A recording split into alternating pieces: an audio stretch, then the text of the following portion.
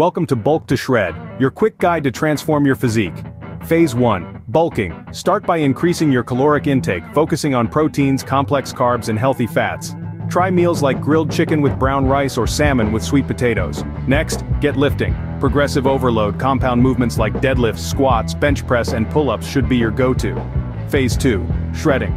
Here it's time to cut back on calories and increase your cardio. High-intensity interval training is your best bet. As for exercises, think compound movements with added supersets or drop sets. Include exercises like burpees, kettlebell swings, or mountain climbers. Remember, sleep is non-negotiable.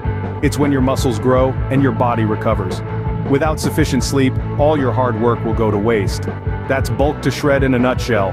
Like and subscribe, I'll see you in the next one.